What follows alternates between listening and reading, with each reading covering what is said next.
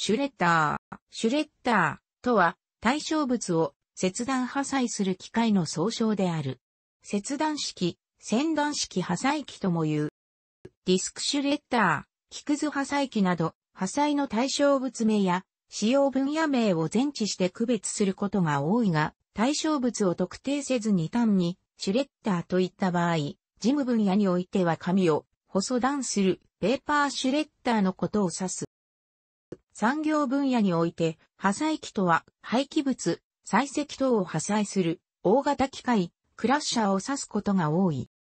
ペーパーシュレッダーとは、不要書類の整理もしくは処分のための装置。書類裁断機とも言う。プライバシーの保護や情報漏洩の防止のために用いられる。裁断は A4 サイズならば1300前後の紙片になる。元来英語でシュレッダーといえばキャベツの千切り機であったが、普及するにつれて英語においてもシュレッダーが書類裁断機の意味としても認知得るようになった。ゴミ箱付けやレターオープナー付けの製品もある。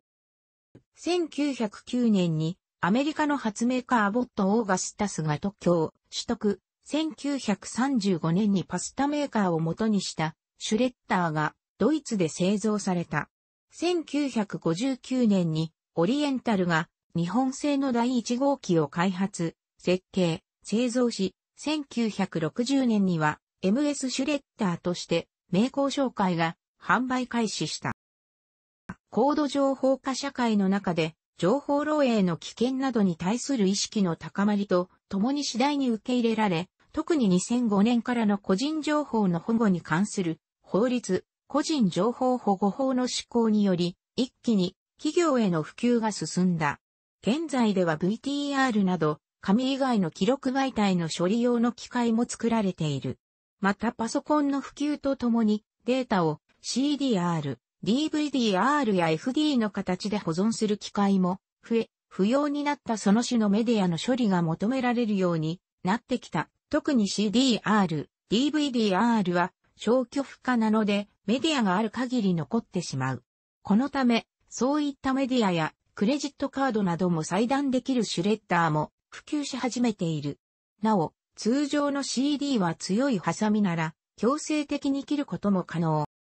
もともとは企業で機密書類を廃棄する前の切断処理に使われていたが、家庭ゴミ、ダイレクトメールや電気料金など、毎月届けられる公共料金の領収書などからの住所や、氏名などの個人情報流出が表化したことから、個人情報が記載された書類の切断による機密保持を目的とした個人、家庭用の小型のシュレッダーも家電量販店やホームセンターなどで発売されるようになっている。シュレッダーの裁断方式には大まかに分けて以下の3つがあるが、メーカーによって呼び方が若干変わる場合もある。また、業務用製品にはチェーンや歯車などを利用した引きちぎり、方式や妖怪方式などのより大量、高機密性の用途に適した方式の製品もある。主に電動式だが、家庭用に安価な手動式の製品もある。縦に切るだけの製品、安価な製品、手回し製品に多い。あまり秘密保持能力はない。また、クズがかなりかさばるので、ゴミの量がかなり多くなってしまう。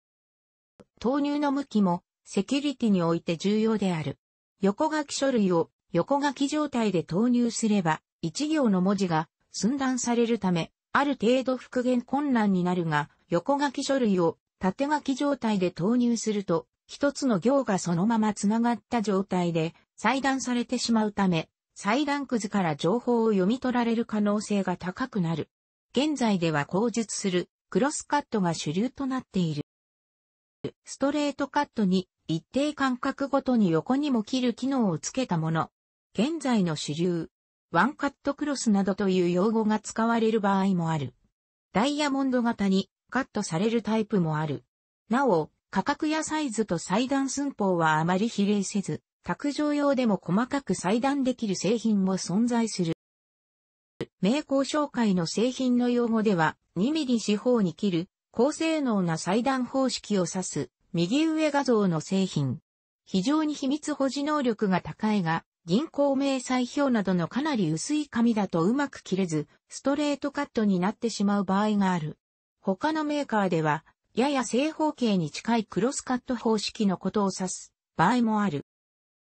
産業分野におけるシュレッダー、破砕機は固形の廃棄物を破砕して最終廃棄物の容積を小さくするためやリサイクルのための分別を行いやすくするために用いられることが多い。例えば家庭用電気機械器具、自動車などの廃棄物から再使用できる部品を取り外した残りを破砕機で砕き、その中からリサイクルできる金属や樹脂などの有価物を取り出すといった使い方をされる。シュレッダーダストとは対象物の破砕くずのことである。ペーパーシュレッダーのシュレッダーダストである紙の再編については繊維が短く切断されていることで再生紙の強度が低下したり、水に溶かす工程で流れ出やすくなってしまうため、再生紙としてリサイクルする用途には向かないとされている。そのため、そのまま廃棄処分されていた。しかし、紙資源のリサイクルに大きな関心が払われるようになった近年では、再編をそのまま袋に入れ、干渉剤として再利用されることも多くなった。また、シュレッダーで裁断された紙くずの回収、再資源化を行う業者、紙の再編からトイレットペーパーを製造する従来より小型の装置も登場し、再利用される機会も増えている。産業分野におけるシュレッダーダストとは、対象物を破砕した後に、有価物を取り出した残りの廃棄物のことを指し、産業廃棄物として最終処分の対象となる。近年では、自動車などに由来するシュレッダーダスト、主に再利用不可能なプラスチックの処分方法や不法投棄などが問題化している。2006年8月の各報道によると、子供がペーパーシュレッダーに指を吸い込まれて切断する事故が相次いで発覚し、1997年以降、経済産業省の発表や消費生活センター、独立行政法人、製品評価技術基盤機構など公的機関に届けられたものだけで7件が明らかになっている。もともと子供のいない事務所、オフィス環境での使用を想定した機器であり、一般家庭での子供の使用を想定した設計がされていなかったためとされる。このため、経済産業省がメーカー団体に調査と再発防止策の検討を要請している。楽しくご覧になりましたら、購読と良いです。クリックしてください。